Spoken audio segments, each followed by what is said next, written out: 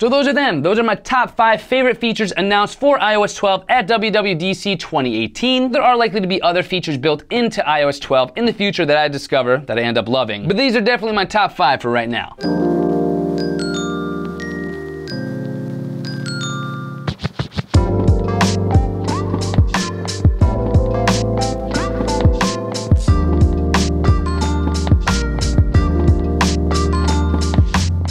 What's up YouTube? It's your boy, BMAC. And it has happened. The WWDC 2018 Apple keynote is in the books. A lot was announced. A lot wasn't announced. But today, I thought I would break down my personal favorite announcements from the WWDC 2018 Apple keynote, letting you guys know my top five favorite features in iOS 12. We're just gonna talk about my favorite five features, because otherwise we'd probably be here for like two to three hours. If you want a breakdown of everything Apple announced for iOS 12, you could always watch the keynote. But without any further ado, let's get right into my personal favorite feature of iOS 12. We are finally getting Siri shortcuts. Now, if you guys are subscribed to this channel, you know how much I personally love and hate Siri. Siri's amazing, but she's also sometimes very limited with what she's actually capable of. It's no secret that Siri's lacking a little bit. But that is why I think Siri Shortcuts is a huge step in the right direction for Siri and for Apple. I think Siri Shortcuts are going to pave the way for the future of Siri and how we could actually make her better. Basically, it sounds like you're going to be setting up an if then scenario. And basically how it's going to work is you could actually streamline different events throughout your day to work with Siri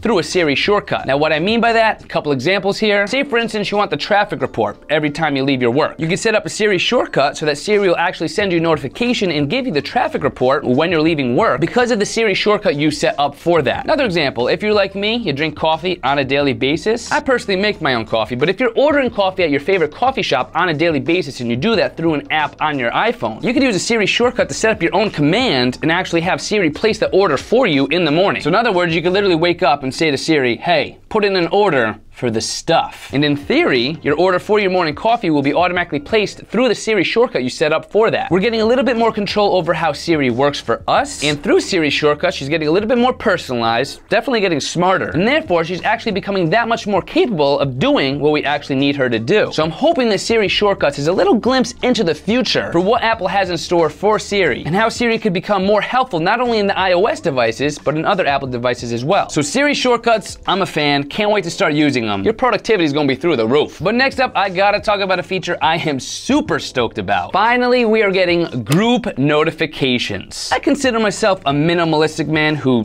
despises clutter. The more clean and organized my life can be, the better I feel. I need organization, which is why I am not joking when I tell you, when I've had notifications on my lock screen on my phone, dozens of them, just in reverse chronological order, I've borderline had anxiety just looking at my phone because of all the notifications I actually have to sort through. And when you get as many notifications as I do on a daily basis, I just, I don't have time to sort through them all. There was once a very clever individual who said, and I believe the quote was, Ain't nobody got time for that. And it's true. I don't have time to sort through others' notifications. I need I need grouped notifications. In iOS 12, we're gonna have notifications grouped together by app so that you can sort through the notifications in reverse chronological order based on app. Your lock screen is gonna be so much more visually appealing and that much easier to actually navigate. And of course, this goes for Notification Center as well. Grouping the notifications together by app will make sure that you don't miss important notifications like I know I do, because then you're basically gonna be able to look at your lock screen, look at your Notification Center, and only see a couple notifications, group notifications, with the different apps you have notifications from, rather than like a few dozen. It's a very simple change, but a change that I think goes a long way in improving our iOS experience. Next up is a pretty interesting feature that Apple announced at the WWDC 2018 keynote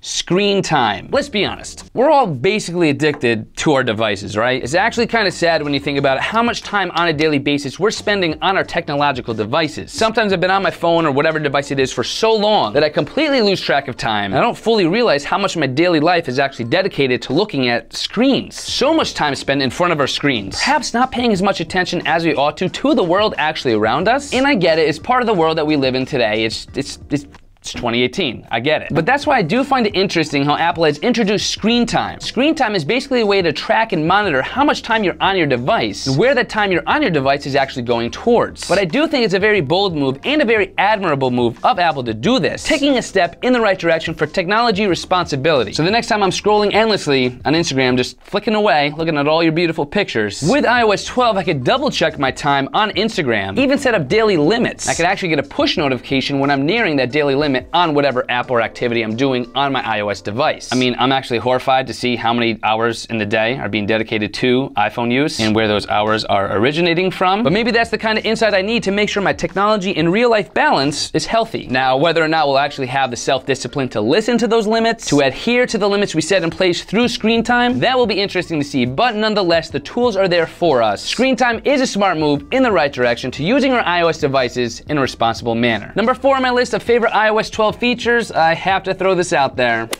Memojis. Memojis? Memojis. I think they're, they're, they're memojis. Memojis. Now, huge disclaimer here. In all honesty, I think memojis are rather trivial. I don't think we needed to talk about it as much as we did at WWDC 2018 during the Apple keynote. But I do think it's kind of cool how we will now have an Apple version of our own Bitmojis that you could use in iOS 12 and messages and whatnot. Memojis are going to be a kind of cool way to socialize and interact with other iOS users. And it'll be fun sometimes to send a memoji instead of just a boring text message or voice memo or phone call. But then again, after a while, I'll probably just default back to text messages like I usually do I don't really have the time to send a memoji to all my friends. I'm just shooting out a text. So emojis are cool in theory, and I'm sure some people will love them. For me, yeah, it's one of my favorite announcements, but not that important. Worth mentioning, worth making my top five list, but you know, emojis they are what they are. And last but certainly not least, as you can expect, we are gonna get speed and performance improvements in iOS 12. Now, as of the making of this video, I'm rocking an iPhone 10 with the latest version of the iOS 11 software, and I gotta be honest, this thing is pretty much blazing fast. This thing's already fast to begin with, so any additional speed or performance improvements is just gonna be, you know, the cherry on top. Speed and performance improvements is something we would expect with a new iOS release. So there's nothing too crazy or groundbreaking to report on here, but Apple did say in iOS 12, it will be up to 70% faster swiping to your camera, up to 50% faster for your keyboard display, which I'm stoked about. Anytime you can get that keyboard up faster, sign me up. And up to a two times faster app launch under a heavy workload. So I think we could all agree, obviously we're excited for the speed and performance improvements in iOS 12. Anytime you make a phone faster, more polished, through software updates, it's a good thing. There's likely to be dozens, if not hundreds of more little tiny improvements and updates within iOS 12 that we didn't even hear about at WWDC 2018. A lot of things that are probably just gonna be there in iOS 12 that we didn't even notice, didn't even hear about. The little quirks and changes that Apple builds into their new iOS updates, that's what I look forward to. The little things. In addition to the big things, but also the little things. So there are likely to be other features built into iOS 12 in the future that I discover that I end up loving. But these are definitely my top five for right now. Do me a favor, leave a comment down below letting me know your favorite features of iOS 12. Are you looking forward to Memojis? Are you deathly afraid of what your screen time numbers are gonna say, but looking forward to it like I am? Leave a comment down below letting me know your thoughts on iOS 12, and as always, I'll be liking, replying to, and hearting some of my favorites. Thank you so much for watching. Please don't forget to smash that thumbs up on if you enjoyed this video, and don't forget to consider subscribing if you like tech videos.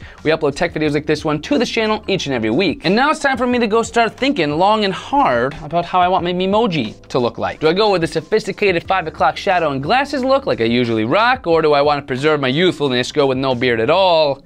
This is a lot tougher decision than I thought, actually. I'll see you guys in my next video.